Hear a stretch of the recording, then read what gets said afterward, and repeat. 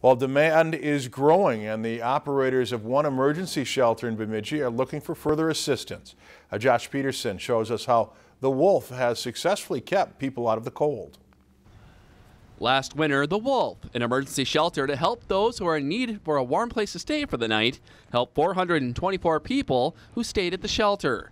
Compared to the previous year, over 2,100 beds were filled last season, showing a growing need for the Bemidji community. It is a little concerning that given the fact that we've moved so many people over to Park Place, that we're seeing level and a, a small increase. So had Park Place not opened, we probably would have seen a, a, almost an unmanageable increase. The Wolf is a unique emergency shelter that operates during the cold winter months and runs solely on grants, donations, and support from local governments.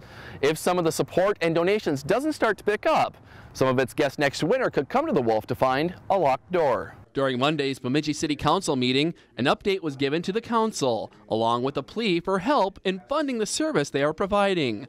Council members questioned the growing need. I'm wondering if we have become maybe a magnet for um, people needing these kind of services, therefore putting, you know, a little bit more of a burden on some of the social programs that we have here. With the opening of two shelters over the past couple of years, Bemidji has seen an increase in people who are using the facilities. But the question is, are these shelters drawing new people to the area? And our people that we serve 95% of them are from the community. There is the odd person traveling through or that is new to town. With a great financial need, Olson requested $5,000 from the City Council, which would match the original contribution made by the city three years ago.